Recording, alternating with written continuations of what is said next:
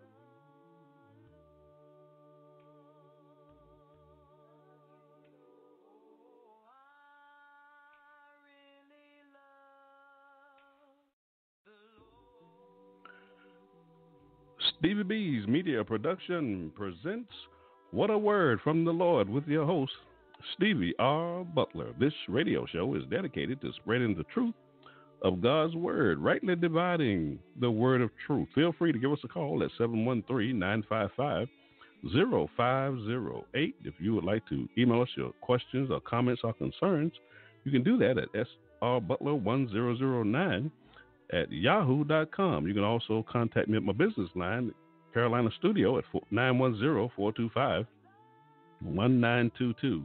Now, again, this show is brought to you by loving and faithful members of the Churches of Christ around the world. If you need help locating the congregation in your area, please email us or give us a call. and We'll be happy to assist you. Again, take out your Bibles and follow along with us here on What a Word from the Lord with your host, Stevie R. Butler.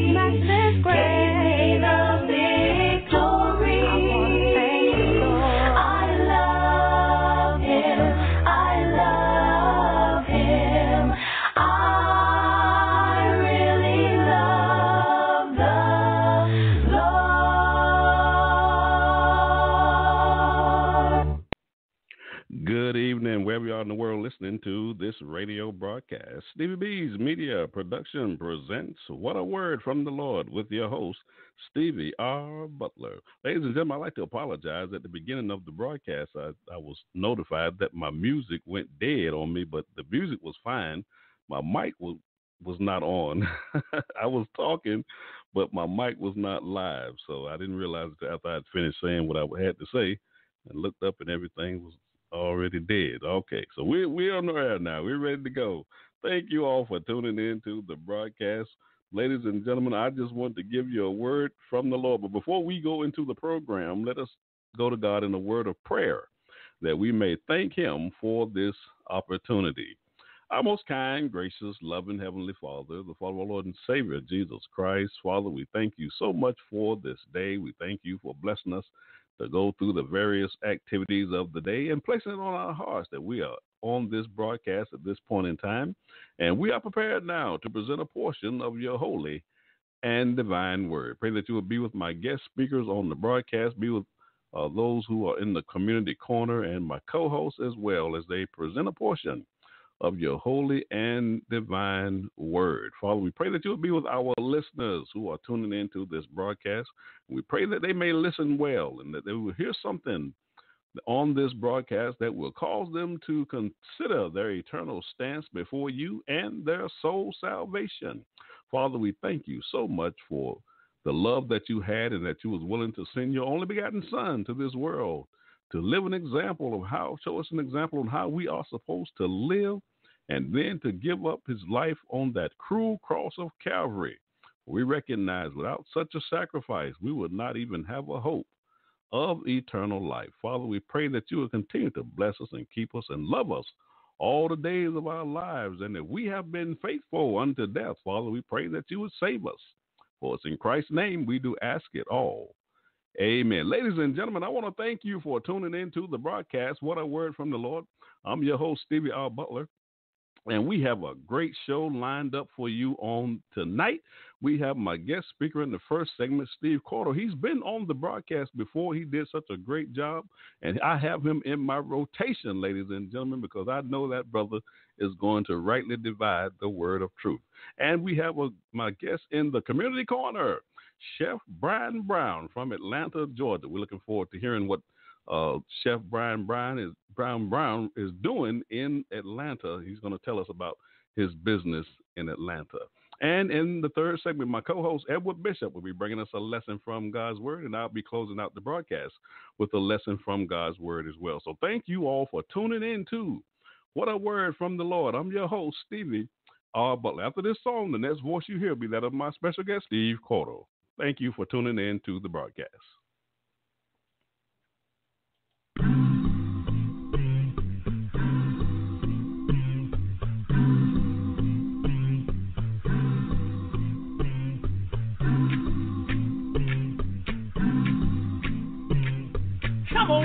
On, gather around.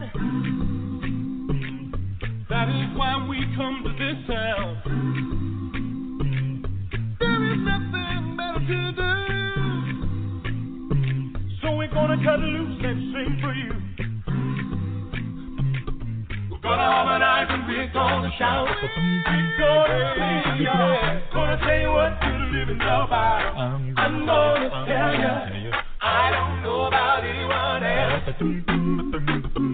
but I gotta cut loose and sing myself. Come on, y'all, and grab you a part. There's no better way for us to start. We'll sing them fast and we'll sing slow. Get off the seat and just let go. Gonna harmonize and we're gonna shout. We're gonna sing. Gonna tell you what in the Bible. I'm gonna tell you. I don't know about anyone else. But I gotta cut loose and sing myself.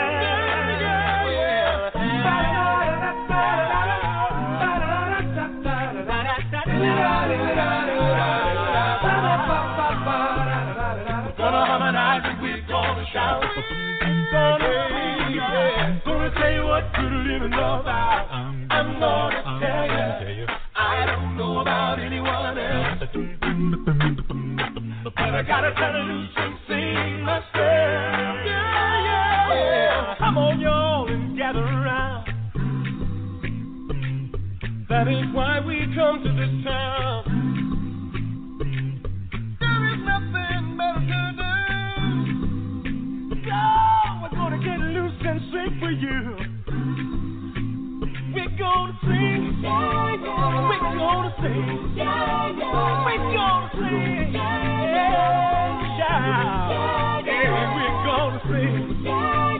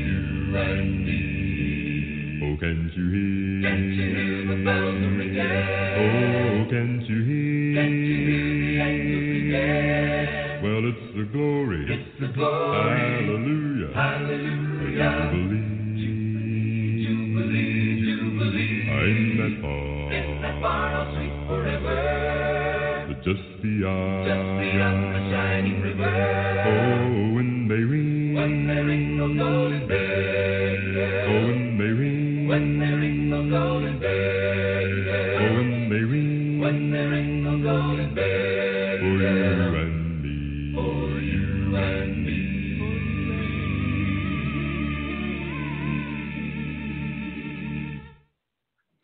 You're listening to What a Word from the Lord with your host, Stevie R. Butler. Now, my special guest speaker, Steve Cordle, and his subject, God is Able.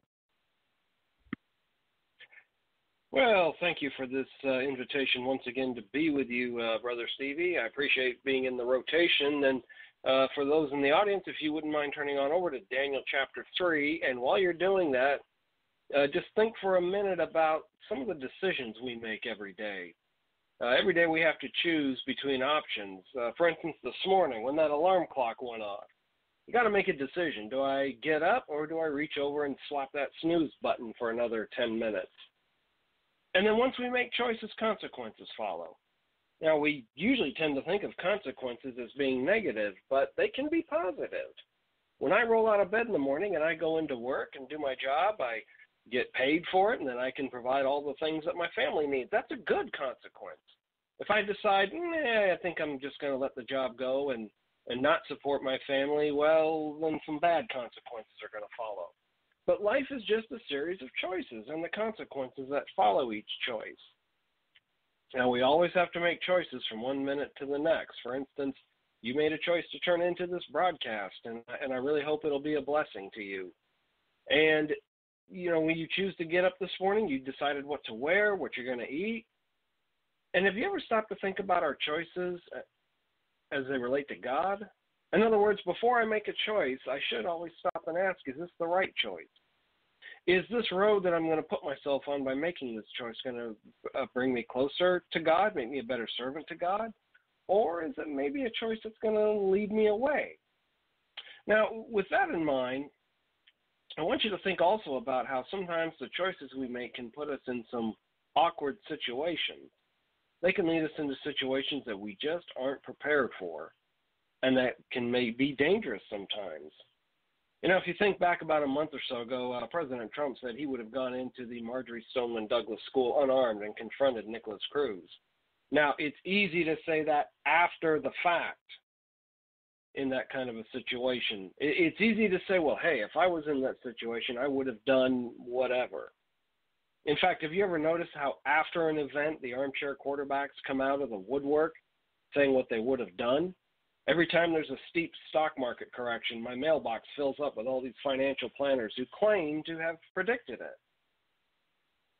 But what if instead of facing an active shooter in a school, though, you are facing a hostile government that's demanding you give up your faith or face death? Because that's what the people in the Bible did. Now, for many Christians, we've read these accounts so many times, they become just stories to us. We don't stop to think, what if that really was me?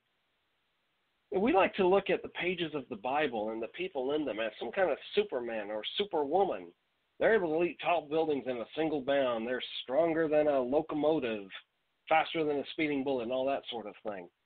But when you look at the biblical record, one thing is clear. The people we read about were just as human as you or I. In fact, I used to picture Bible characters with all the personality of a Ben Stein character. Uh, if you remember Ben Stein, he was the, the teacher in Ferris Bueller's Day Off and was the teacher who showed up occasionally in the Wonder Years very monotonic when he talked. And that's how I pictured Jesus giving the Sermon on the Mount Behold, the birds of the air. And then one day I was reading James chapter 5, and I had read this many times, and something finally occurred to me. Chapter 5, verse 7. Hold your finger there, Daniel 3. We're coming back to it, but I want to point out Daniel or uh, James chapter 5, verse 17. The New King James says Elijah was a man with a nature like ours, and he prayed earnestly that it would not rain. And it did not rain on the land for three years and six months. And he prayed again, and the heaven gave rain, and the earth produced its fruit. Now the NIV says has says it even better. Elijah was a man just like us. And that jumped off the page at me. For instance, he's a man just like me. Have you? Let me ask you this: He's a man just like you. Have you ever felt fear, anger? Have you ever been frustrated? Well, we all have. In fact, in our Wednesday night Bible class where I preach, we've been looking at the book of Numbers, and I really be, am beginning to notice all the times in this study Moses got so fed up with Israel, so frustrated with Israel, to the point of being afraid of the people. He was angry. He was tired. Does that sound like you and me? In the days of World War II, the 82nd Airborne Division defined courage as when you feel the fear, but you go anyway. You jump out of a perfectly good airplane at 10,000 feet. That takes courage. And that's what it takes to do what's right in the eyes of God. And that's what's happening here in Daniel 3. Remember, these men are like Elijah. They're feeling the fear. They're feeling the the the uh, uh, blood blood uh, uh, you know picking up and going fast, the heart rate, the excitement and I want us to notice some things. Daniel chapter 3, I want us to notice that sometimes we have to speak truth to power. Look at them in the face of authority. They spoke truth to power. Look at verses 1 through 15. You know, I used to have a misconception about this incident until I started studying for this talk. I had it in my head that the entire population of the Babylonian Empire was assembled. But notice verses 2 through 7 where there it makes it pretty clear it's the political appointees of the king. King Nebuchadnezzar sent word to gather together the satraps, the administrators, the governors, the counselors, the treasurers, the judges, the magistrates, and all the officials of the provinces to come to the dedication of the image of King Nebuchadnezzar had set up. So see who's been called. And so the satraps, we're going on to verse 3, the administrators, the governors, the counselors, the treasurers, the judges, the magistrates, and all the officials of the provinces gathered together for the dedication of the image the king that King Nebuchadnezzar set up. And they stood before the image that Nebuchadnezzar had set up. So these are the political appointees. And uh, one source I looked at said that this reflects Nebuchadnezzar's policy of appointing native rulers to govern the processes. So I, I live in Florida. So let's say Florida goes up and invades Georgia. We would take local people from where we've invaded and appoint them to rule over in our behalf. And that's what Nebuchadnezzar has done here. I had always thought of this as a religious test that Nebuchadnezzar was applying. But when I look at this, at who's assembled, and I look at the punishment for not obeying, to be cast into a furnace, this looks to me more like it's a test of political loyalty. And all leaders prize loyalty, especially political leaders. That's one thing I've learned. I've read several books analyzing the 2016 presidential election, and that's one thing that's come out is both Hillary Clinton and Donald Trump place a premium on loyalty. And I grew up in Alaska, and our governor once got appointed by Richard Nixon to be Secretary of the Interior. That was Wally Hickel. Well, after the Kent State shootings in 1970, Hickel made some uh, wrote a letter to the president that somehow became public, and Nixon took it as a sign of disloyalty.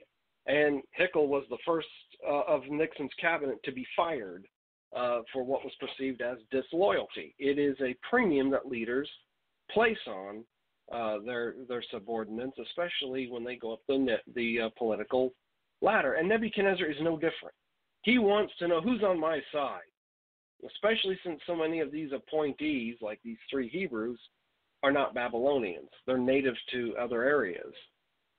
So was so was this an uh, idol a test aimed just at the Hebrews? Can't say for certain. We know that in Daniel chapter 6, that was aimed specifically at Daniel. That was a, a setup. Oh, speaking of Daniel, where was he while everyone is commanded to worship the golden image? Well, I've got a really deep theological answer for that. You ready? Here it is. I don't know. Nobody knows where Daniel was at that time, and critics who question the authenticity of the book of Daniel point to the omission of his name as evidence that uh, this is just some legend. But really, the research I did looks at he was probably excused for some reason. We don't know why, but uh, but apparently he was. But Nebuchadnezzar, getting back to him, is not happy with the report about the Hebrews. He orders them to be brought before him. And James Burton Coffman pointed out that despite his rage and fury, Nebuchadnezzar refused to act against the Jews without an investigation. He perhaps was aware of the vicious jealousy that prompted the charges. Therefore, the king gave the Hebrews another chance to clear themselves of the charges. Now, I've never thought of a ruthless autocrat like uh, Nebuchadnezzar as being interested in due process or fundamental fairness, but it seems as though he wants to hear their side of the story. Hey, come on, guys, what's going on? Why are you not bowing down? I- have heard that you're not doing it. Uh, come on, explain yourselves. What's happening here? Now, it could be that these people who reported them still have an axe to grind. Back in Daniel chapter 2, remember, is where uh, Daniel and his uh, friends were appointed uh, to, over the affairs of the province of Babylon in chapter 2, verse 49. So these, they could be just feeling some jealousy here. They accused the three Jewish leaders, but look at verses 8 through 12 where where they are going to uh, uh, own up to their own devotion. You know, at the uh, verse eight. Therefore, at the time, certain Chaldeans came forward and accused the Jews. They spoke and said to King Nebuchadnezzar, "O king, live forever. You, O king, have made a decree that everyone who hears the sound of the horn, flute, harp, lyre, and um, psaltery in symphony with all kinds of music shall fall down and worship the gold image." And whoever does not fall down and worship will be cast in the midst of the burning fiery furnace. Well, there are certain Jews whom you have set over the affairs of the province of Babylon Shadrach, Meshach, and Abednego. These men, O king, have not paid due regard to you. They do not serve your gods or worship the gold image which you have set up. Then Nebuchadnezzar, in rage and fury, gave the command to bring Shadrach, Meshach, and Abednego. So they brought these men before the king. So they're pointing it out, kind of, hey, look what they're doing. And we're we're doing right, but look what they're doing. But now go back and remember what James said about Elijah. That he was a man just like us. And I have no doubt that these three men were feeling some kind of fear or apprehension or anxiety. But notice, they're going to go anyway. They're going to take their stand for the Lord. Now, did these informants actually witness the trio not bowing down, or did maybe someone turn them in? Well, we, again, we don't know. But the people who brought these charges, you notice, are the nobles, not just astrologers. And that's uh, according to what the Aramaic term used here is. And the king, you notice, is confronting these men. Is this true? That you won't worship the God that I have erected, or the statue that I have erected? What's going on? Now, under American law, treason is very narrowly defined, and that's a deliberate act by our founders. But in those days, well, treason was pretty much whatever the king said it was. And so Nebuchadnezzar could call this treason. And even if he didn't, he's certainly taking it personal that these three Hebrews will not bow down. So, at least in this case, he's got a sense of fairness, though, because he does want them to speak for themselves. But look at verse 16. O Nebuchadnezzar, we have no need to answer you in this matter. Now, if I was to translate this into modern American English, I think they'd be saying something like, "That's rhetorical, right? I mean, come on, you know our answer. We don't. We're, we're not going to debate you on this." They're speaking truth to power. They are not going to debate. They are simply going to stand for what they know is right, and they've decided to do this despite the consequences. And that brings us to to a part where basically the king is going to say, "I dare you." Now it's the king's turn. They've stated their what they're going to do. They've stated their position. So now the king is basically going to dare them. You remember the flagpole scene in that movie, The Christmas Story, where the character Schwartz is daring Flick to put his tongue on a frozen metal flagpole. By the way, I grew up in Alaska. Your tongue will stick to it if you if you do try that. But the narrator says the proper protocol for this ritual was to dare, then double dog dare, triple dare you, and then triple dog dare you. But Schwartz skipped the triple dare and went right for the jugular, a triple dog dare. That's basically what Nebuchadnezzar's done here. He's gone right for a triple dog dare, daring these young men to be faithful to their God.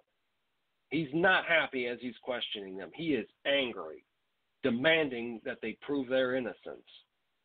One writer said that in situations like this, no crime is greater than nonconformity.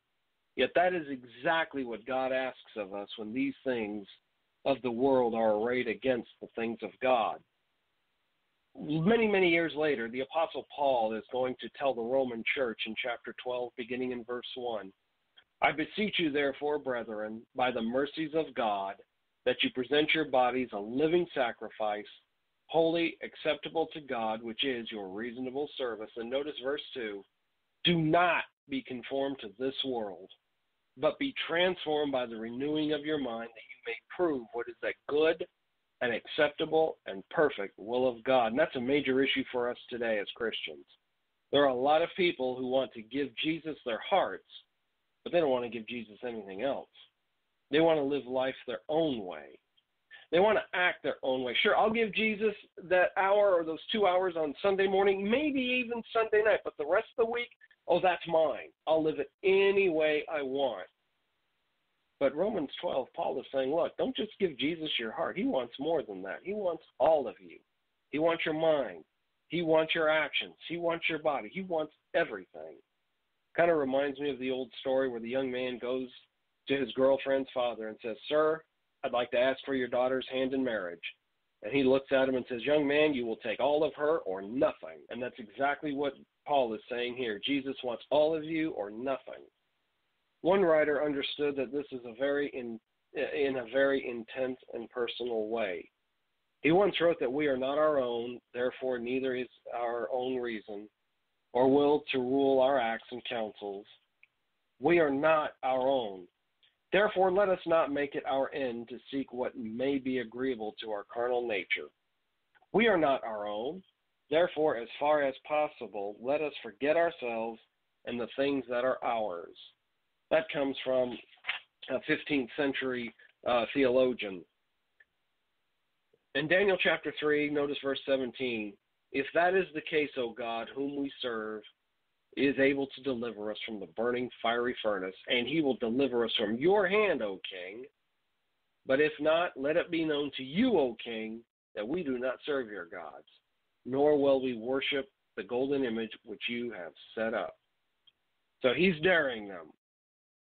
Basically, he wants to know: Do they really love their God enough that they're going to go through with this? And, do and, let's ask ourselves: Do we love God enough to take a risk for His sake? Because unwavering faith is the faith that we have in good times. Well, what about in bad times? It's easy for me to have faith in God and, and tell you to have faith in God. Every Sunday morning, every preacher gets up and tells the congregation to have faith in God. But then what happens when things do get bad?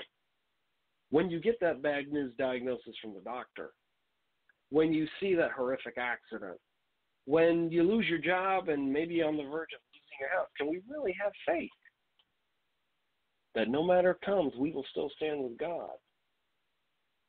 Shadrach, Meshach, and Abednego evaluated their losses and calculated their gains, and concluded that even if they chose the truth, they still had to take the dare. But they believed that their actions were more reflective of the truth concerning themselves. See, these these three men chose to have faith in God despite consequences. They were willing to lay everything on the line. They were they they told the king that God is going to deliver us from the fire. And even if he didn't, well, he's still able to do so. But even if we don't come out of the fire, we'll go home to be with God. See, we never know what God can do until we really step out on faith. The conquered says, I should have, could have, would have, but the conqueror says, I thought I could, I think I can, I did it, I knew I could. So you'll never know what you can do until you actually step out and put your faith in God. And as I was reading this, I thought of Paul's words to the Philippians when he said, For me to live is Christ and to die is gain. In other words, if God wants me to stay here and continue my ministry, that's great.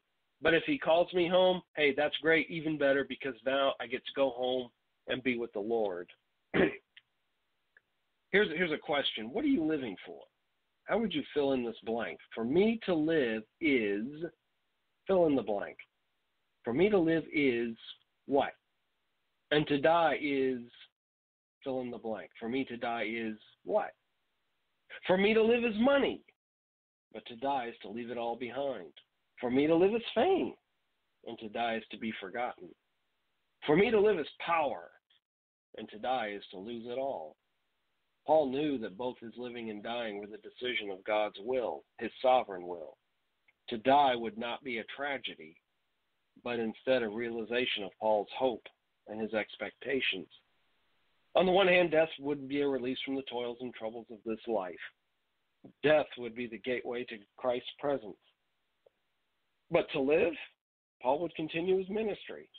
Had a lady one time, she lived to be 104, and she told me uh, just before her 100th birthday, I'm ready to go or stay, whatever God wants.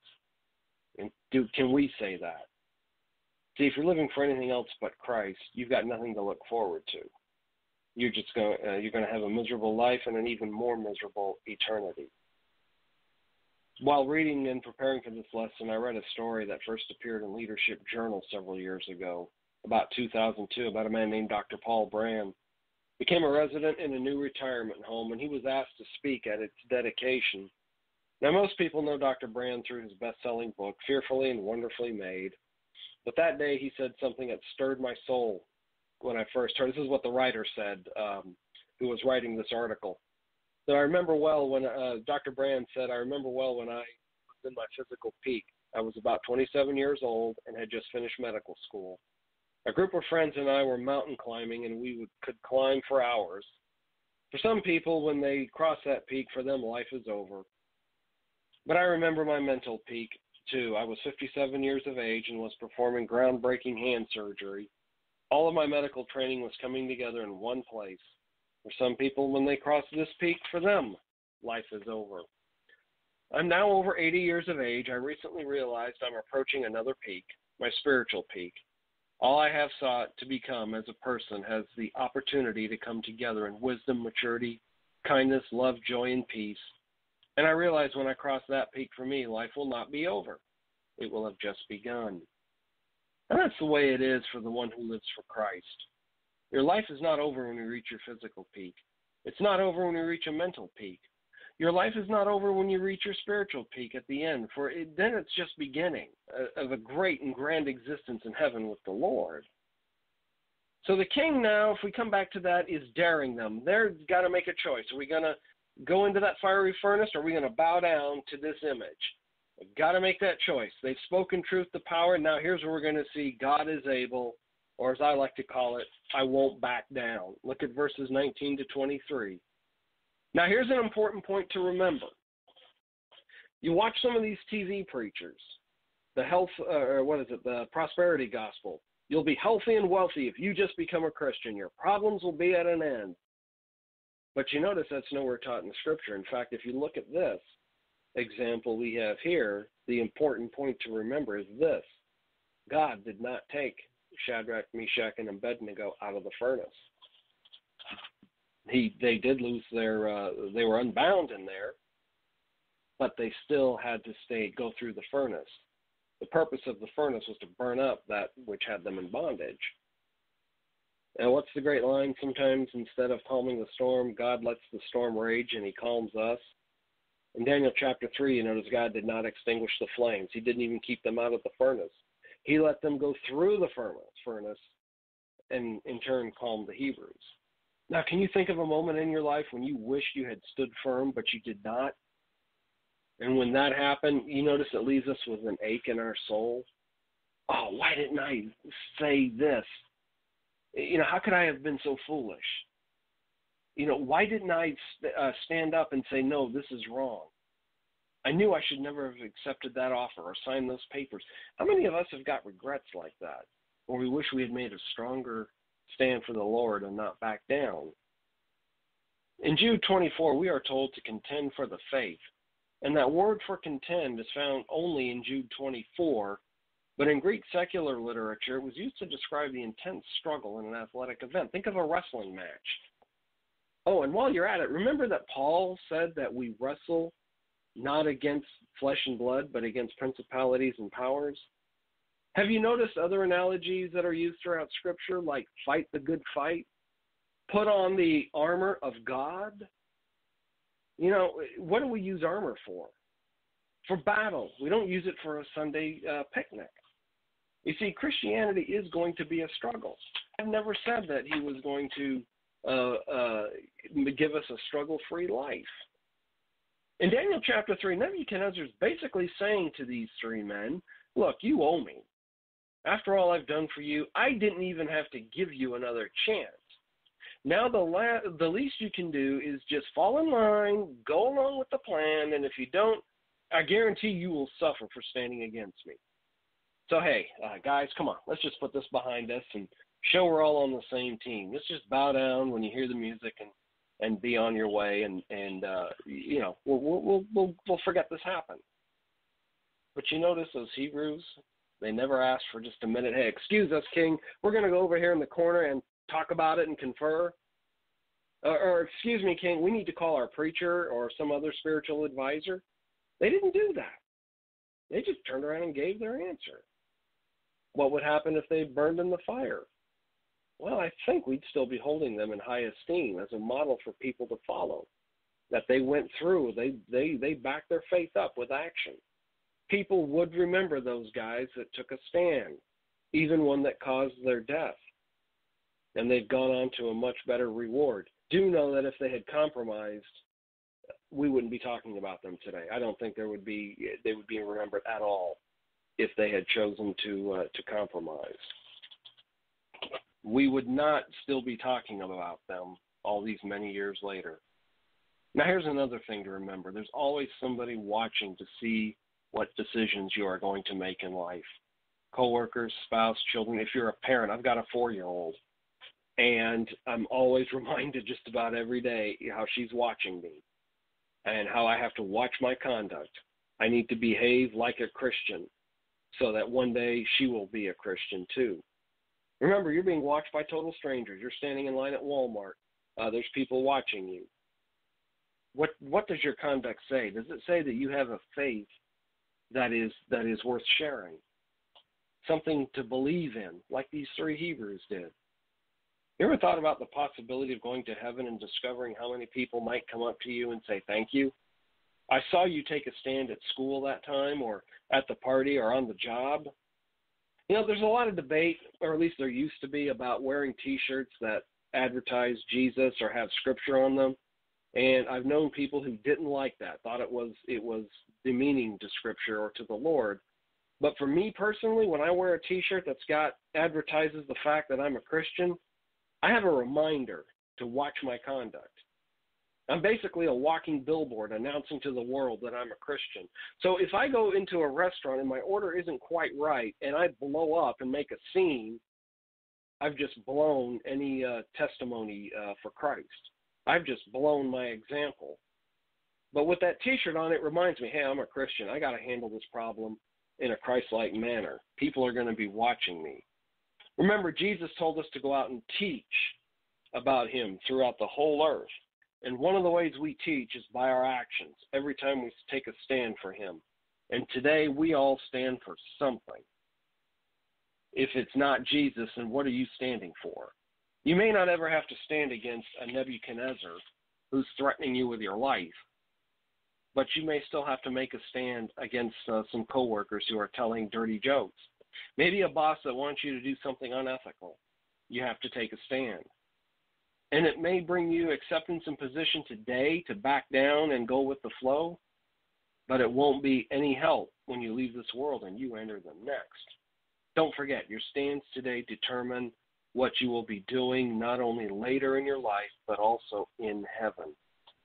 The way to look at this is how television many times presents uh, the scenarios of the superhero in a life or death situation, hanging off a cliff, uh, and a uh, it's about to to go over. Now we know the superhero is going to be rescued. We know that the character isn't going to get get killed off because that's going to end the series. But in the case of these young men, Shadrach, Meshach, and Abednego, no one knew that they would be rescued, but they knew that God was able to bring them through. Have you ever found yourself in a circumstance, in a situation where you wondered, is God really able to deliver me? Now, in this passage, help was needed. And if help was needed, then we need to make sure we ask God for help. When you find yourself in those situations, ask God for help. Ask brethren to pray for you and to pray with you. Shadrach, Meshach, and Abednego were tied up and tossed into that fire, but the Word of God reveals that when we choose God, when we choose to place our faith above our fear, then the power of God will be in the midst of that fiery furnace, whatever it is for us, that situation. Whether it's a bad financial situation, a bad health situation, whatever it is, God will be there. Remember, God sent Jesus to be our, our uh, salvation, to bring us salvation on the cross, because he knew we could not get ourselves out of that furnace. While we were still enemies, Christ died for us. He went to the cross. God will take care of you if your hope is built on nothing less than Jesus' blood and righteousness. I shall not trust the sweetest frame, but wholly lean on Jesus' name. Hope you found this lesson to be a blessing. I hope it will give you courage. If, when you're in a situation like this, you will have the courage to stand just like these three did. And uh, thank you, Brother Butler, for the opportunity once again.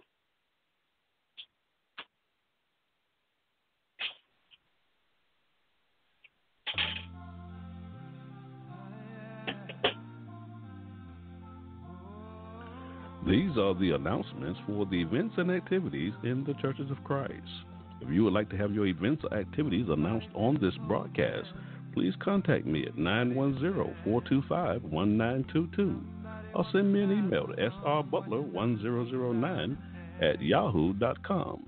On October the 1st through the 4th, 2018, the Southeastern Lectureship 2018 hosted by the West Oak Grove Church of Christ, and that address is 3455 Highway 51 South, Hernando, Mississippi 38632.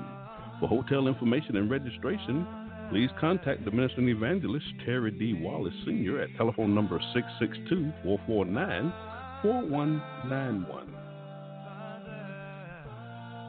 On May the 26th through the 28th, 2018, the Southside Church of Christ Homecoming 2018, there'll be a gospel concert, a cappella concert on Saturday, May 26th at 4 p.m., featuring Total Praise, Revelation a cappella, Genesis, and Live. And on Sunday, May 27th, the worship service will begin at 10:30 a.m. and there'll be a program at 3:30 p.m. On April the 6th through the 8th, 2018, the 50th Reunion Northeastern Youth Conference will be held at Newark Church of Christ, and that address is 723 Clinton Avenue and South 14th Street in Newark, New Jersey. The evangelist is Dr. Eugene Lawson. For information, please give him a call at 973 374 4563. On May the 19th through the 24th, 2018, the 2018 Churches of Christ National Lectureship. The theme of this lectureship will be the exposition on the race by faith, and the text used will be Hebrews chapter 12, verses 1 and 2. Hosted by the ministering evangelist Jefferson Carruthers at the Carver Road Church of Christ in Winston-Salem, North Carolina. The area local congregations in that area in the Triad, Greensboro, High Point, and Winston-Salem, also be sponsoring this event. The event will be held at the Connery Convention Center of the Sheraton at Four Seasons, and that address is 3121 West Gate City Boulevard, Greensboro, North Carolina, 27407. More information, please give them a call, 336 292 9161. On April the 6th and 7th, 2018, the West Coast Regional Teachers Workshop. And their theme will be connecting God's Word to God's World. And the time will be Friday, 7 p.m., and Saturday morning at 8 o'clock a.m. The address will be the Normandy Church of Christ, 6306 Normandy Avenue, Los Angeles, California. The registration will be $30, including breakfast and workshop material. On August the 34th through September the 3rd, the Woodlawn Forest Church of Christ will be hosting the 87th Annual Homecoming and Empowerment Conference. And that theme will be moving from anticipation to sanctification. And the address is 1515 North Forest Street, Valdosta, Georgia, 31 31601.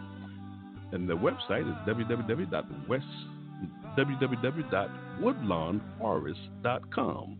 For more information, please give them a call at 229 242 7228. And the ministering evangelist is Leroy Butler Jr. And this will conclude our announcements.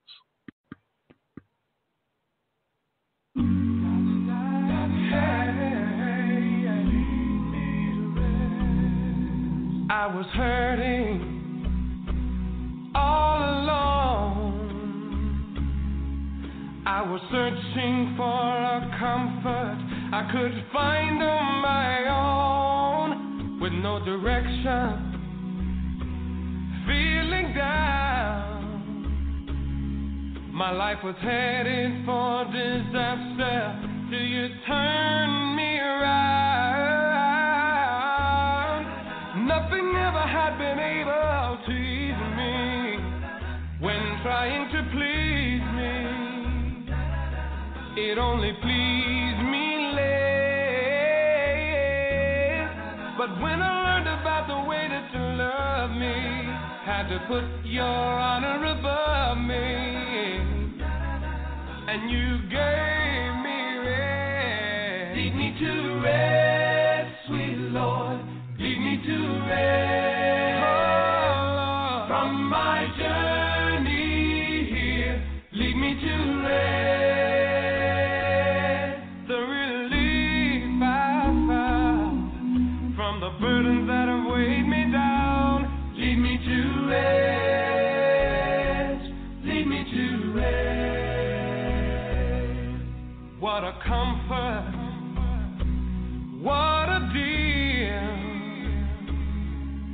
I consider what you offered me, how can it be real?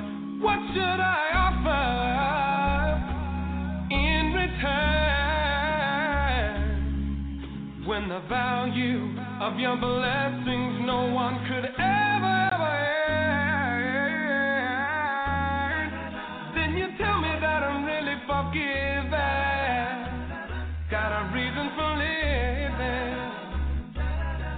And you made it so clear, yeah.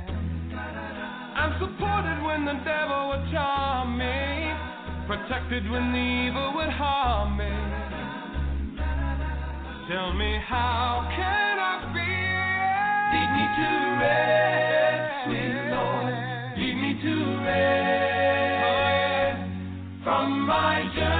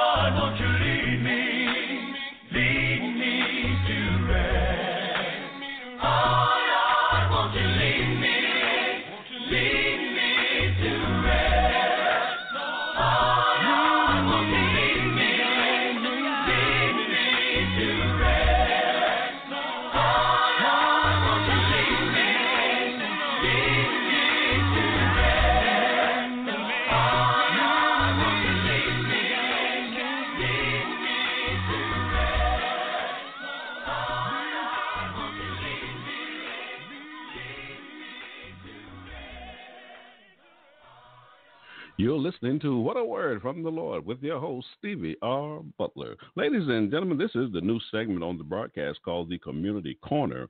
And what this is, you know, sometimes people come to the church looking for help, and sometimes we have to tell them, well, that's not a work of the church. And that might be the case in some cases, but not always. But we don't really tell them where they need to go to get the help that they need. And this is the basis for this Community Corner. This segment is designed to just tell our listeners just what products and services are available to them.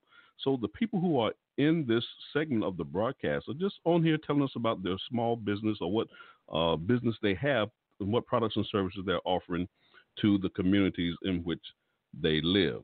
And they also will tell us how to contact them for their services. So we just want to make the saints aware of what's going on and what's available to them because there are a lot of people in our congregations who are doing uh, uh, great works within their communities, and we just don't have the information about what's going on around us. And that's the uh, the reasoning behind this portion of the broadcast. And in the community corner on this evening, we have my good dear brother, Chef Brian Brown. How you doing, my brother? I'm doing great, my brother. Good to be on here. I'm glad to have you on here. Now, I was supposed to have Chef Brian Brown on my Friday night show a few weeks ago, Right. and we're still trying to make that happen. We gonna make it happen, Doc. All right. Well, why don't you go ahead and tell us about what it is that you're doing in Atlanta, Georgia, regarding your business? Well, of course, everybody knows that I am the chef, and uh, what I do is uh, I am a two-part business. I am a private chef, as well as I have my own catering business, and the name of the catering business is called Brown's Keynote Catering, and I use the keynote because somebody took the singing chef, so I use Brown's Keynote Catering. Uh, my brothers and I, of course, have been singing for more than 30 years uh, together, and and so uh, I've also been a chef for nearly 30 years, and so um, I just been doing it that way for a long time. And um, what I do here in Atlanta, and, and actually, I also travel as well because I've been summoned to several places to go and, and cook and uh, do some private engagements as well as doing catering events uh, for some folks, and that is in the church as well. Uh, I also have ventured into another part of the business, and that is teaching our youth uh, at church. Uh, it's not exclu- exclusive to just the church kids, but it's the basis is done through the church. And I work through the Hillcrest Church of Christ right now, and uh, it's all to benefit the church. And like you said in your segment uh, when you was introducing it, uh, that uh, we don't know where to go and find certain things. We don't know where to find a personal chef or where, where to find a, a caterer that is, you know, good enough to do these things. Now I'm a trained uh, chef. I attended the Le Cordon Bleu Culinary School, and uh, I have a degree in culinary arts.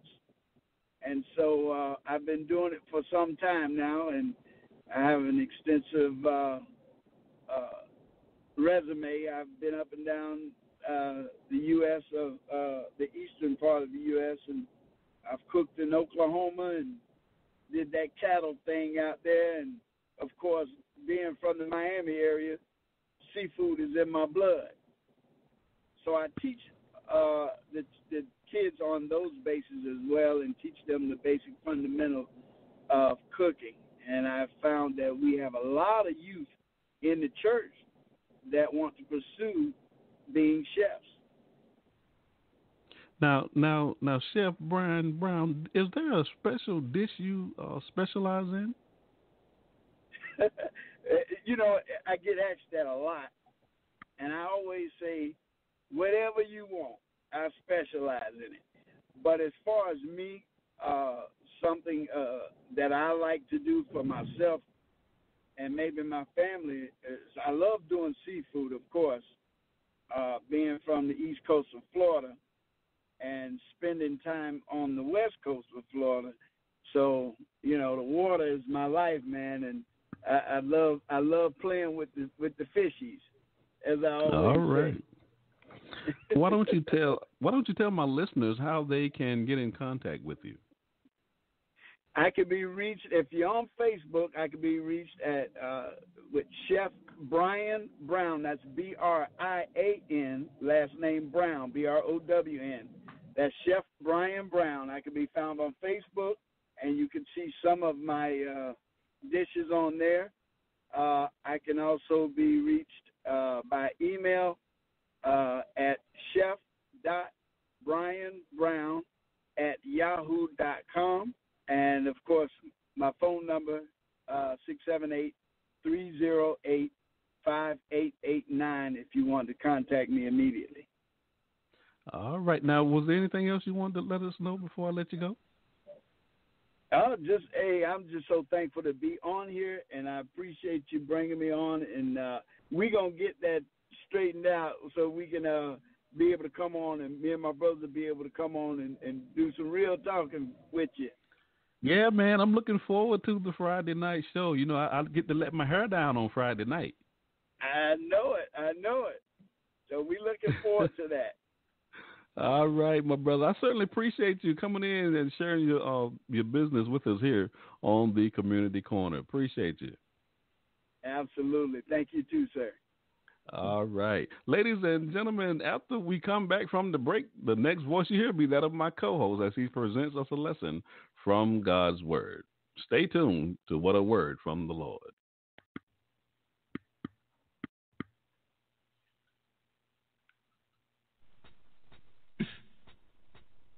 I know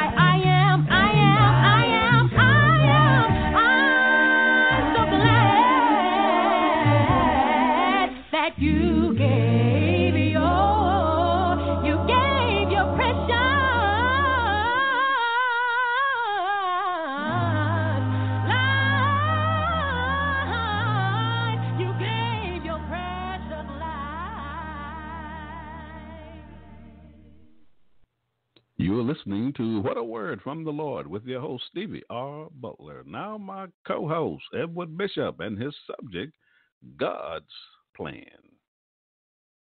I would like to first of all like to thank Brother Butler for giving me this opportunity to stand for you on this evening to present to you a lesson from God's engrafted word. More importantly, above all, I don't think that God is heaven for giving me the strength and the ability uh, to be able to stand before you on this evening. For it is in Him that we live, we move, and we have our very being. We are because He is. Our illness is simply wrapped up in His isness. Now, having said that, if you have your copy of God's engrafted word, uh, which is able to save our very soul, God's basic instructions before leaving this earth. The book of Acts, the second chapter, verses 37 through 47. That's the book of Acts, second chapter, verses 37 through 47. I shall not be long on this evening. Acts, the second chapter, verse number 37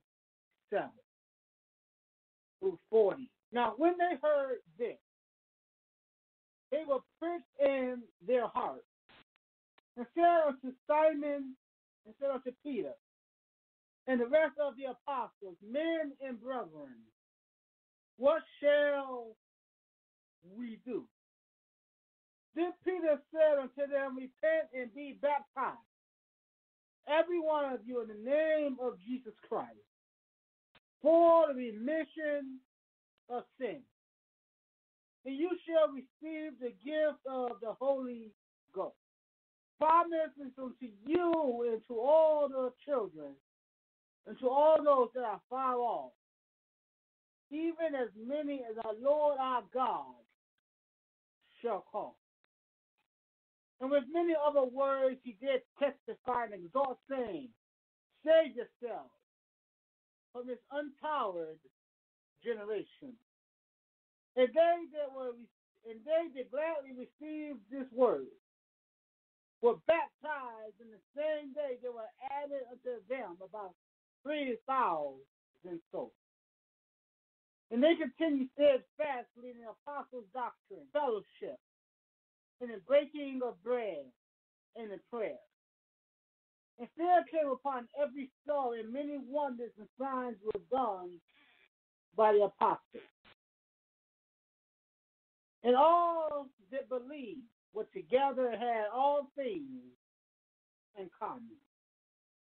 And sold their possessions and goods and parted them all to men as even as every man had need. And they continued daily with in the temple, breaking bread from house to house. They eat their meat with gladness and singleness of heart, praising God and having favor with all the people. And the Lord added to the church daily such as were being saved. I want to speak as the Spirit shall guide. With this thought on our mind. God's math, got it right? God's math plan. The book of Acts is known as the book of conversion. The book of Acts is known as the history of the church. Uh, because this is where the church is first introduced. This is where the first gospel sermon of fact was preached. This is where Peter and the rest of the apostles stood up boldly and proclaimed it, it Samaria did they murder and kill their messianic master. And after they heard of what they did, they asked that all important question what must we do in order bold apostle? He stood up, you know, Peter, the one who always managed to put his foot in his mouth. The one who always got himself in trouble. The one who denied Jesus three times stood up boldly, stood up preaching the gospel of Christ. And said, if you want to be saved, you have to repent and be baptized for the remission of your sins. In other words, if you want to be saved, if you want to have your sins forgiven, you have to be baptized for the remission of your sins. He says, and God will add to you his Holy Spirit. Oh, that word add means join something to something else as to improve its quality. You see, when you are baptized uh, for the remission of your sins, God adds to you his spirit. Now, having the spirit of Christ uh, is probably the most important thing you can have. The Spirit can do things for you. Get money. Spirit will put you in a position that money just can't. The Spirit will give you access to the grace of God. Oh, that's just something money just can't do.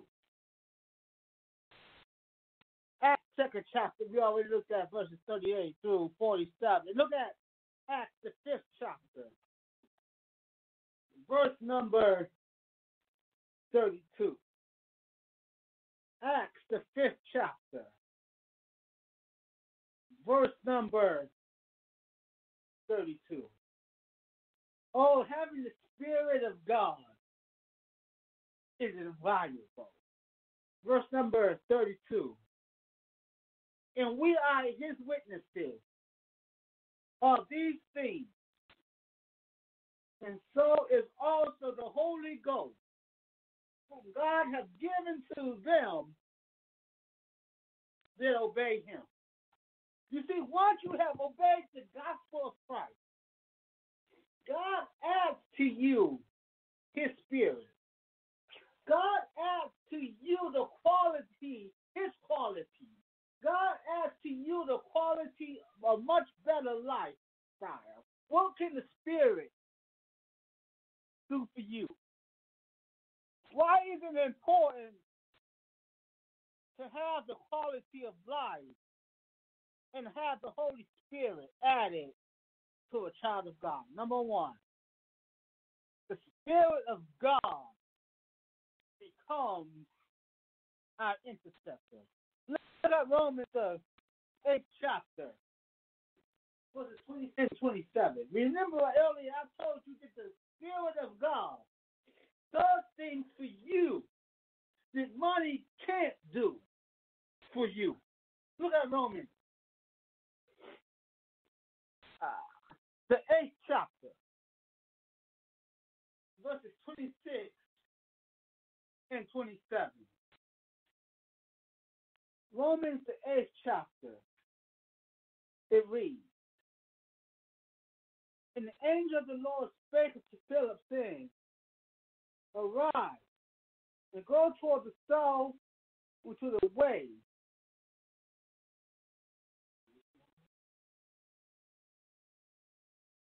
Romans. Sorry, I said Acts. The book of Romans. The book of Romans, chapter 8, verses 26 into 27. Likewise, the Spirit also helpeth our infirmity. For we know not what we should pray for as we ought. But the Spirit itself maketh intercession for us, groanings which cannot be uttered. And he that searcheth the heart knoweth what is in the mind of the Spirit, because he maketh intercession for the saints according to the will of God. Oh, money cannot make intercession for you. Something that only the Holy Spirit can do. And only those who have obeyed the gospel of Christ have the privilege of having that Holy Spirit. Only those who have been bought by the blood of the Lamb. Only those to whom God has added his spirit to can have that opportunity. Oh, I'm so glad that when I do not know and I don't know how to exactly word my prayer, I'm so glad that God added to me his Holy Spirit, which will take what my heart needs, take to the Lord my thoughts, and present it to him and God in such a way that God will hear my needs and will supply my needs according to his riches and to his glory. But only those who have the Spirit of God can do that. Oh, when you're baptized, you put to death your flesh. So now God has to add something to you. God gives you his spirit. Oh, and that's the best thing you can have. Point number two the Spirit proves that we are God. Look at Second Corinthians, the first chapter, and verse number 22. Second Corinthians, the second chapter.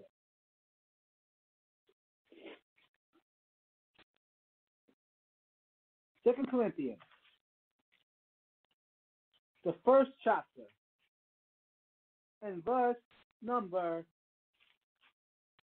22.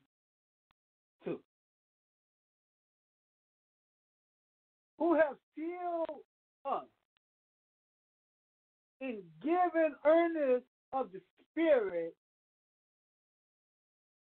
in our hearts. When we have obeyed the gospel of Christ, God gives us his spirit to let us know that we are here. Oh, that's a wonderful, wonderful thing. It is our soul, it is our stamp, it is our seal of our salvation. Ephesians, the first chapter, in verse number 13. Oh, if you want to feel, if you want to think, if you want proof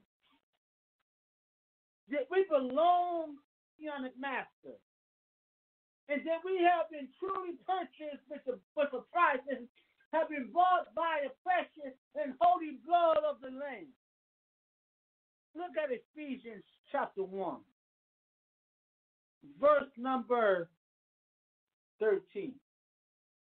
In whom ye also trusted, after that you have heard the word of truth, which is the gospel of your salvation, whom also after that you believe you were sealed with the Holy Spirit.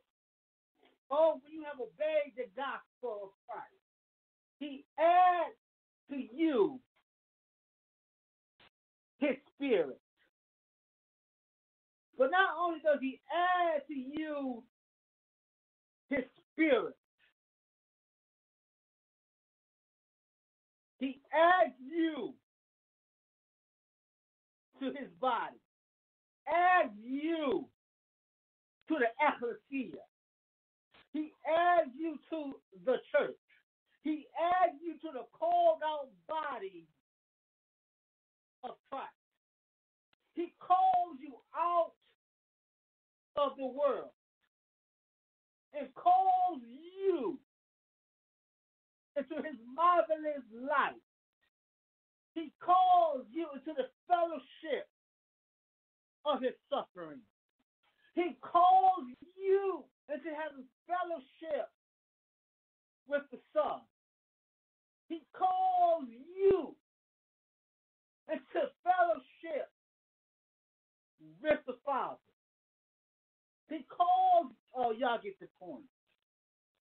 Oh, I'm talking about God. Math plan. And then you have subtraction. When you become a child of God, and you have obeyed the gospel of Christ, that word subtract means to take away value. When you obey the gospel of Christ, God subtracts the penalty of death from your sin. God will no longer hold sin against you. God will remit your sin. God will forgive you of your sin. God will no longer bring up the sin. Subtraction can be good, but it can also be bad. There are those folk out there in the religious world who subtract from the word of God and say that baptism is not essential to salvation. The Bible tells us not to add nor subtract from the word of God. The Bible tells us if you subtract from the word of God, God will subtract from you your name out of the Lamb's book of life. Revelation, the 22nd chapter, verse number 19. Then we have multiplication. Look at 2 Corinthians, the ninth chapter, verses 6 through 8. We are all familiar with those, with that verse, for those of us who are members of the body of Christ. God can do more with a little. You can do with a lot. God is able to multiply what you give. You cannot be God in giving. Look at Luke, the sixth chapter, and verse number 38. The verse number 38. God will take what you have, press it down, and make it overflow that you would not have enough room to receive the blessings of God. The number multiply just simply means to increase greatly. Oh, if you need evidence, just look at Job. In Job, the 42nd chapter, verses 10 to 12. After Job went through all the years that he went through, after losing his house, his family, uh, all his possessions, God blessed him with more in the end. Why? Because he kept his faith in God. He knew where his faith was. And after he had kept his faith, after he went through his going through, God blessed him with more in the end than he did in the beginning. Oh, look at Joseph. God took Joseph from the pit, from the prison, and he put him. God did for Job, and what God did for Joseph, as long as you keep your trust and faith in Him, God says, What I did for them, I can do for you. I am able to bless you more abundantly than you could ever even ask for or imagine, according to my riches, according to my glory, God says, I am able to bless you far above what you could even ever ask for, as long as you trust me.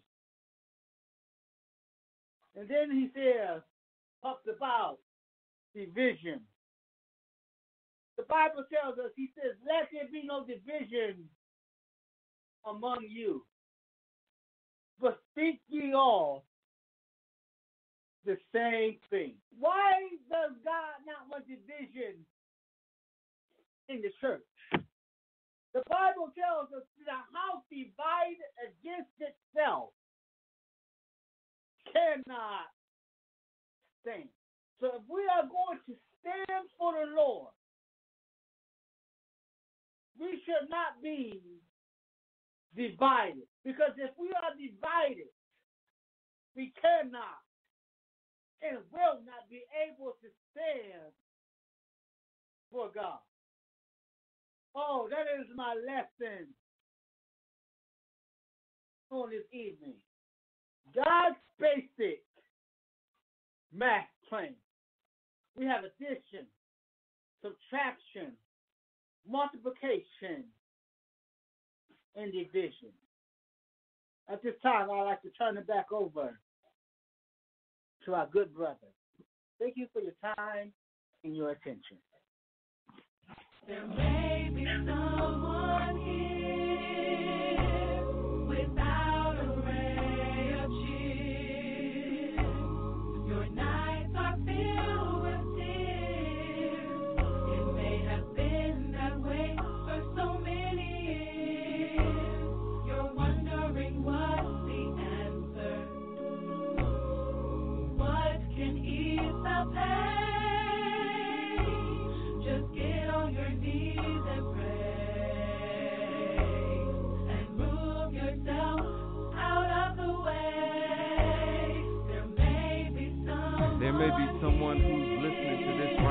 That may be going through some trials and tribulations in your life.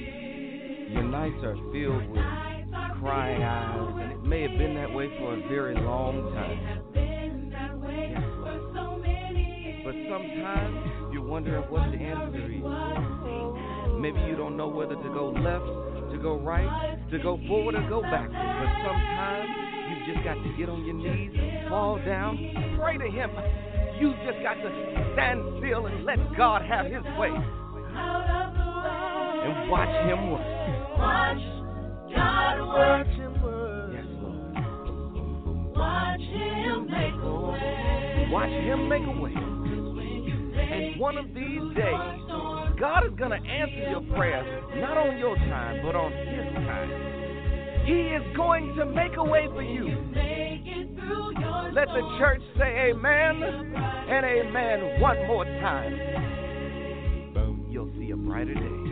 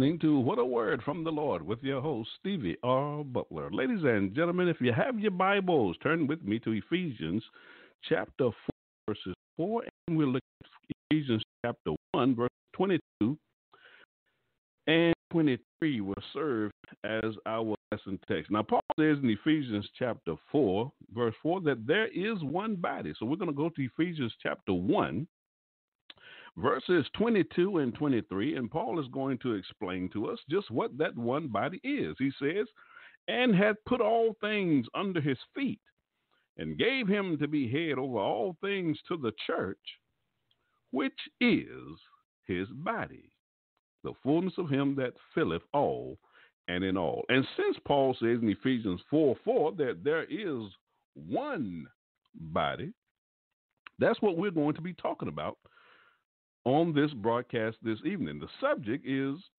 Is there only one church? That's our subject for this segment of the broadcast. Paul says in Ephesians 4 4, there is one body. Then he tells us that the one body is the church in Ephesians chapter 1, verses 22 and 23. So we want to look at is there only one church? That's the question that's on the floor. And this is an extremely pertinent question with a surprisingly simple answer. You know, I've been uh, on social media and in one group there, I'm not going to call any name, but they were dealing with this very question. Is there one church? And that's what that's why I got the idea for doing this lesson because of that conversation on social media. So so listen to me. Jesus gave a satisfying simple answer when he replied to Peter in Matthew 16 and verse 16 I will build my church. That should settle the matter, ladies and gentlemen. The Lord only built one church, just as He said He would. However, for the rest of this lesson, we wish to ask three questions. Number one, what is a church? Number two, what do we mean by church? And then lastly, number three, how does this affect me? Those are the three points we want to answer from this lesson on this broadcast. Number one, what is the church? Number two, what do we mean by church? And number three, how does this affect me?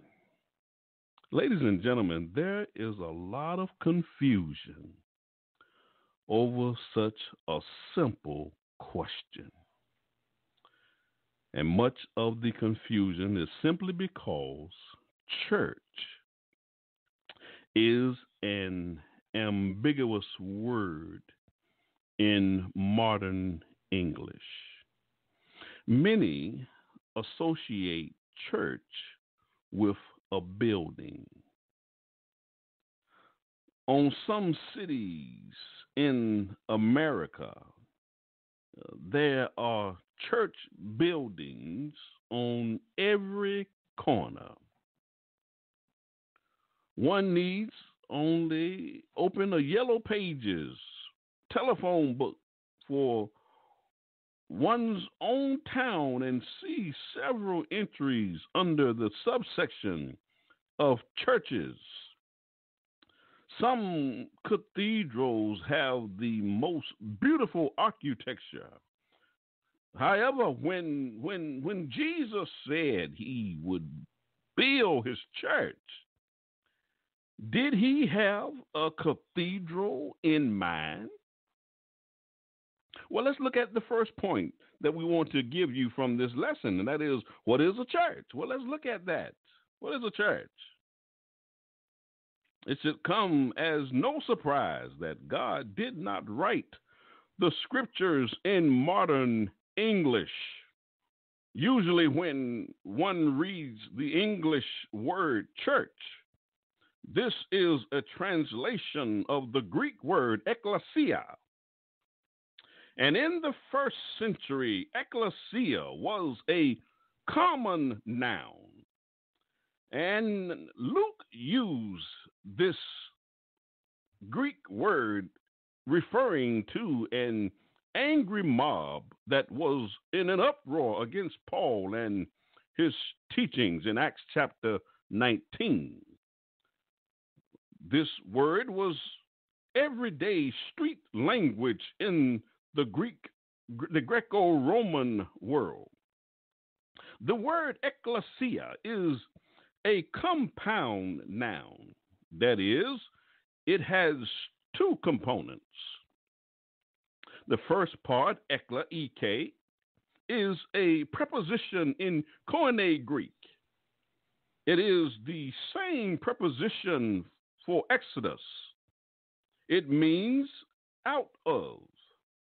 The second part, kaleo, K A L E O, is a verb in Koine Greek. It means to call.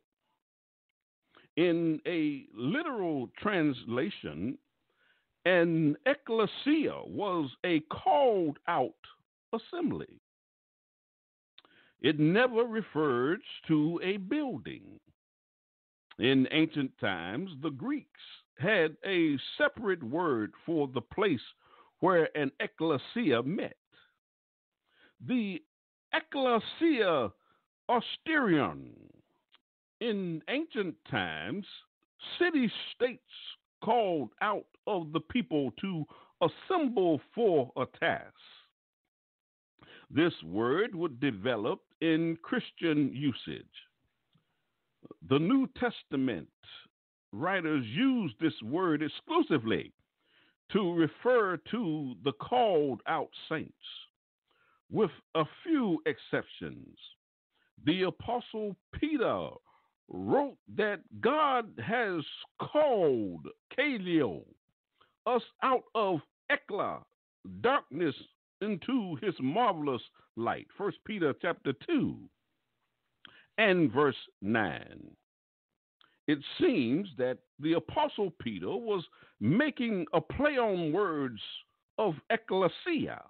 However, when used as a compound, we opt for an extra translation, exact translation rather, like assembly or gathering or congregation.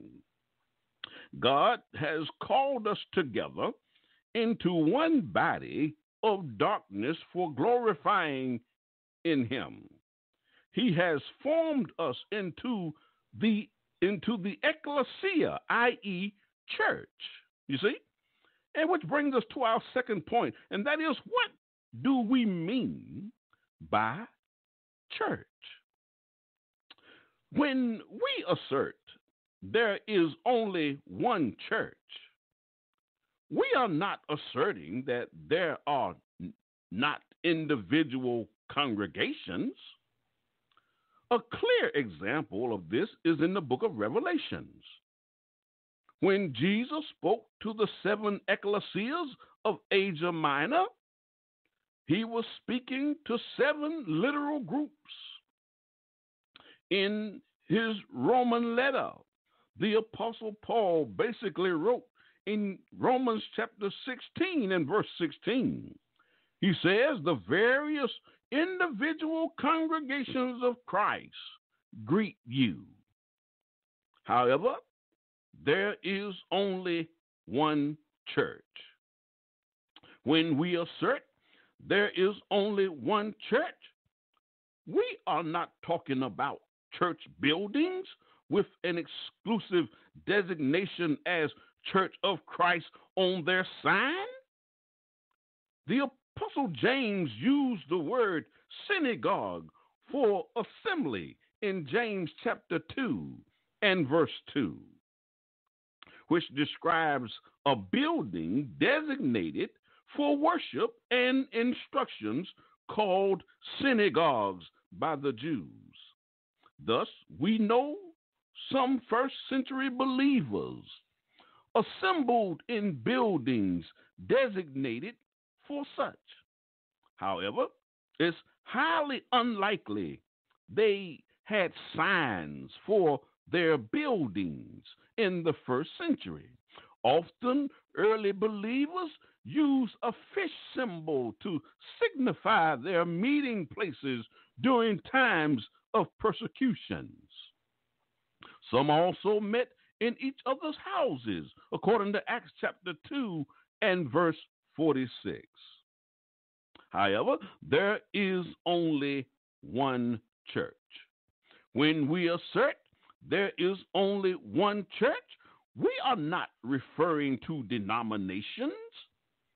Indeed, while there are fictitious, uh, fractions uh, in the various congregations, see First Corinthians uh, the book of First Corinthians, you will see all of that division there in Corinth. The church is not a conglomeration of various groups. We cannot be united until we lay down our interpretations, till we lay down our biases. However, there is only one church. When we say there is only one church, what we mean is that all believers who have responded in faith to the gospel, penning of their sins, and being baptized in water collectively form one group of people, the called out of God. Then the Lord adds those people to his church. Acts 2 and verse 47. These people spend the rest of their days following learning and following the pattern of the New Testament, living daily conformed to the Lord's will. Ephesians chapter 5 and verse 17, which brings us to the last point of our lesson, and that is how does this affect me? How does this affect me? Ladies and gentlemen, it means that instead of turning to find a church in our yellow pages, we ought to turn in our Bibles, in our New Testament, to find how to be like the church of the New Testament. How do we become part of this one church? We read several conversion stories in the book of Acts, perhaps the most famous of them being found in Acts chapter 2, when those who had heard the gospel responded in faith by repenting and being baptized in water for the remission or the forgiveness of their sins, then and only then did the Lord add them to his church. Acts chapter 2 and verse 47. Those who are in the church are people enrolled in heaven. Hebrews chapter 12 and verse 23. Jesus Christ our Lord, ladies and gentlemen, is the head of the church and the Savior of the body, which is the church. Ephesians 5 and verse 23 in Colossians chapter 1 and verse 18. Despite giving our various congregations proper names, the one church does not have a fixed proper name. Did you hear what I said? The one church, the Lord's church, does not have a fixed proper name. Many writers attach the scriptures to describe them in the scriptures. Those who belong to the firstborn, namely Jesus, Hebrews chapter 12 and verse 23, are those who belong to the living God, Acts 20 and verse 28. If one has multiple trees, they might need to differentiate uh, maple trees and elm trees and pine trees. However, the Lord only has one church, so it has no purpose to do that. We must not divide the church. Our society is permeated with denominationalism, the idea that somehow the one church is segmented into smaller denominations like a giant piece of pie. However, the New Testament warns against division. My co host talked about that in the segment prior to this that division, whether in petty squabblings or in a larger fictitious way. Jude condemned those who divides us as those devoid of the Spirit in Jude 19. Those in Corinth were people of the flesh because they divided. 1 Corinthians chapter 3, verses 1 through 4. They were carnal minded. Why do we not stop all this denominationalism, this denominational foolishness, and simply be Christians? Be members of the churches of Christ. Isn't that what Jesus wants? Isn't that what he laid his life down for? To be a Christian only and only Christians.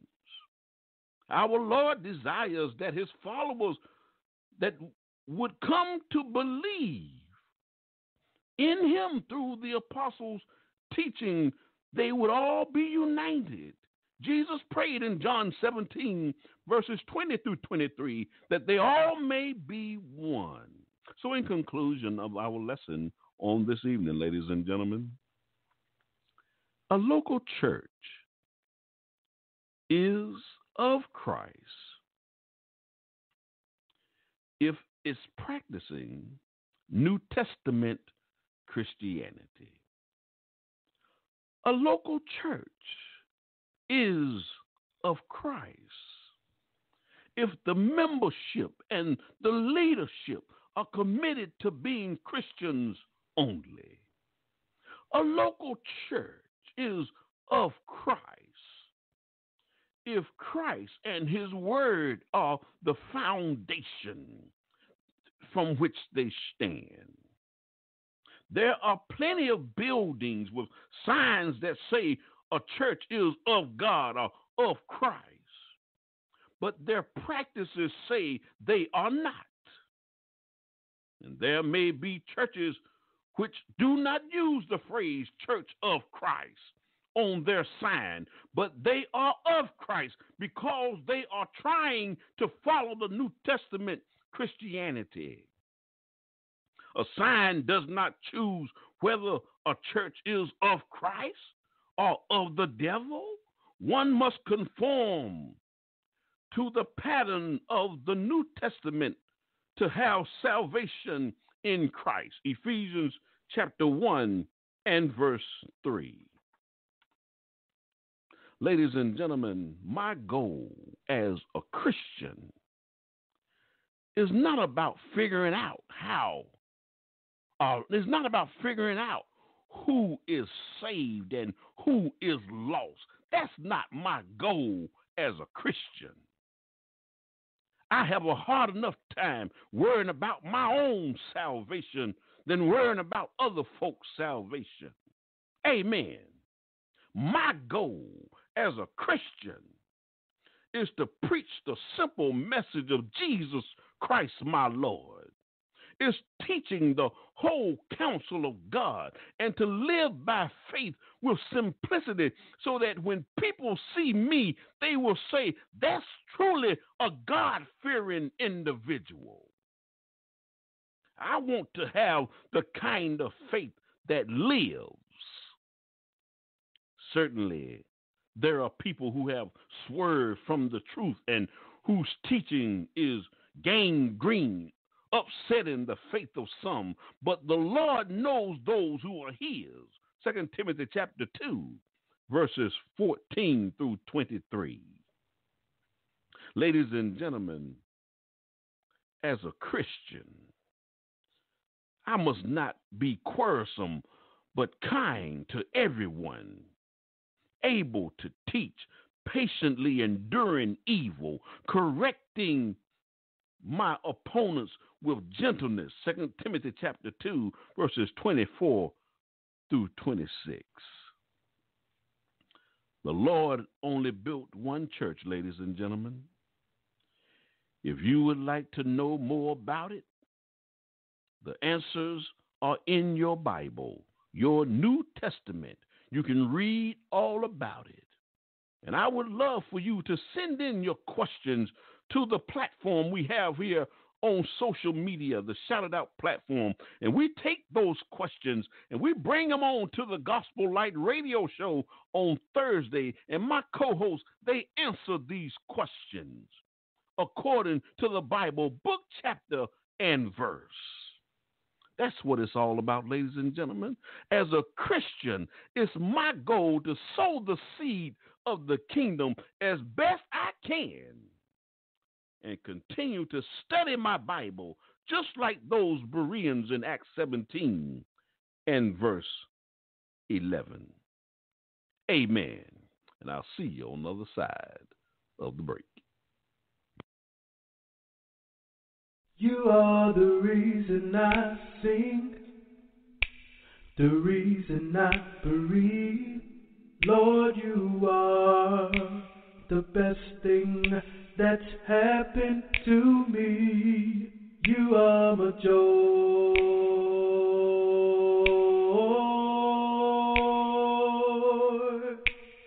Lord,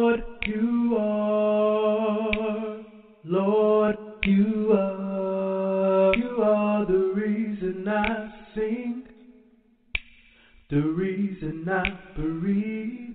Lord, you are the best thing that's happened to me. You are my joy.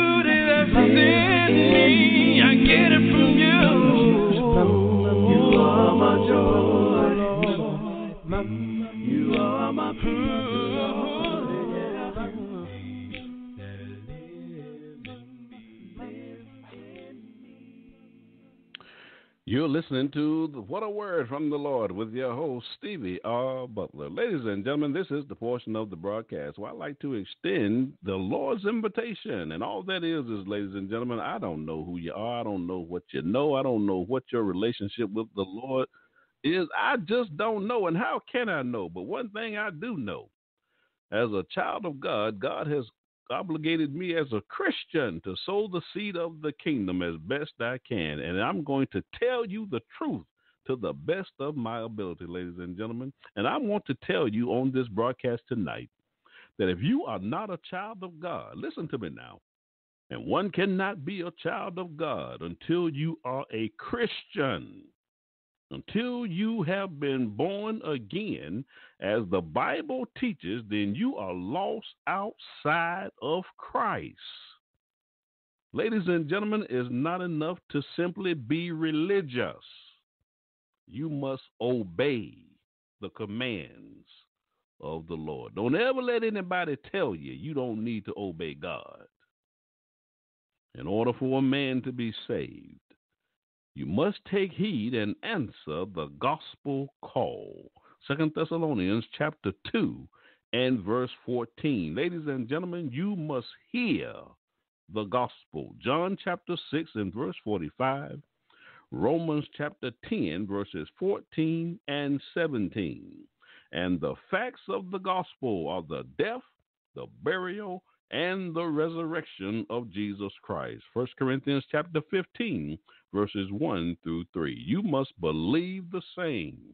James chapter 2 and verse 24. Hebrews chapter 11 and verse 6. The Bible says, Without faith, it's impossible to please God. For he that cometh to God must believe that he is, and he is rewarder of them that diligently seek him. Ladies and gentlemen, you must repent. In Luke chapter 13, verses 3 and 5, Jesus Christ our Lord said, I tell you, nay, but except you repent, you will all likewise perish. And then Paul says in Acts chapter 17 and verse 30 that God commandeth all men everywhere to repent. Ladies and gentlemen, you must confess your faith in Christ Jesus. Romans chapter 10, verses 9 and 10. Matthew chapter 10, verses 32 and 33. Jesus said, If you don't confess me before men, I will not confess you before my Father. You must be baptized in water for the remission of the forgiveness of your sins. Acts chapter 2 and verse 38. Acts 10 and verse 48. First Peter chapter 3 and verse 21. And if you are a Christian and you have not been faithful in your service to God, then you can decide again by prayer and repentance. Acts chapter 8 and verse 22. And ladies and gentlemen, we want to encourage you to visit the churches of Christ in your local area. Amen. And I'll see you on the other side of the break. Okay, just sit down. right now. Sit down, sit down. Let me talk to you. It's been a while, but I know trouble's been in your life. The devil's trying to mess with you, but God's trying to bless you. Situations may cause you to question faith. I know you cry and you worry, Tears streaming down your face. but we came to tell you to hold Hold on. on, Dry your eyes. Strong, and run the race. I'm a believer. Jesus still delivers. I remember when I was right there. This is what I have to do. I, I called him I prayed. I called on him. I know I had nothing to fear. I wasn't worried. That's why I stopped here to tell you. Can praise Him. Even in your tears. Come on, I need another witness. Come on. You go through the dark, the things good. They say they done all they could, but don't worry about it. Give it to God. Mm. That loved one has left you ain't no home. I know it. Seems like all your happiness is gone, but you can't let that keep you from pressing on. Hey, I love this cause I've read it we've said it endures for a night. But remember that joy, joy it comes with morning light. No, no matter the troubles you face, you can go ahead and lift your hands and give God Lift 'em up. praise. Ooh, praise Him through all, all your peace. Just remember. Cause I remember Then you tell 'em what what He to did. I remember what he did. I was right where you are. So I know what he can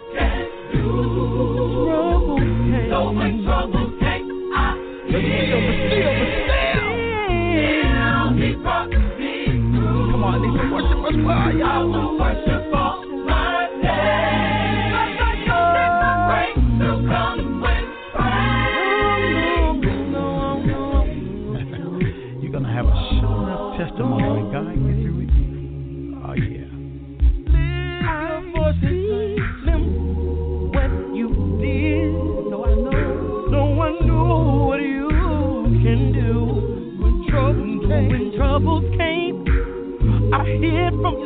your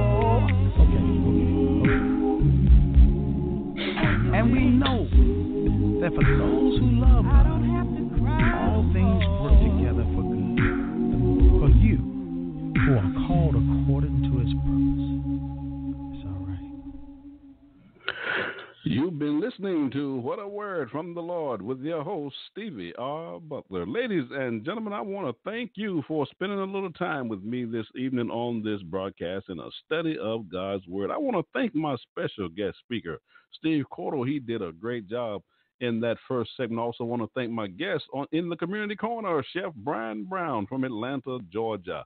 And I also want to thank my co-host, Edward Bishop. He always does a great job on the broadcast as well. But I want to thank you, listeners, for tuning in to this broadcast.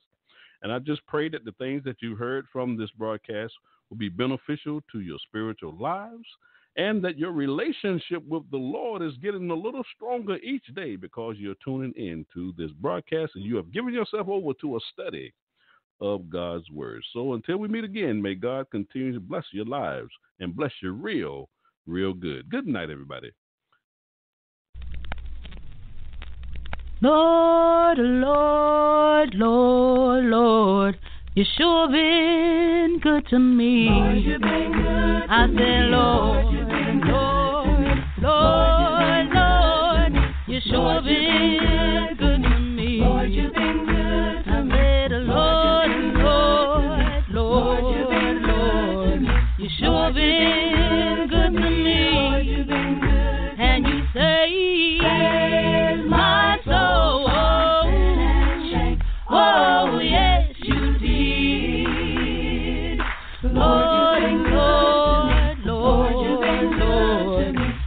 Been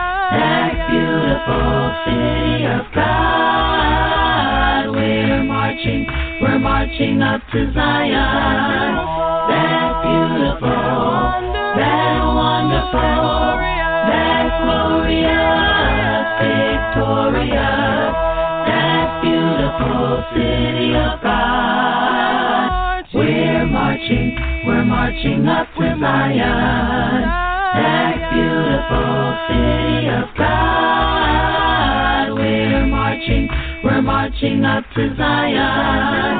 That beautiful, that wonderful, that glorious, victorious, that beautiful city of God. Lord, Lord, Lord, Lord. That beautiful city of God. We're marching, we're marching up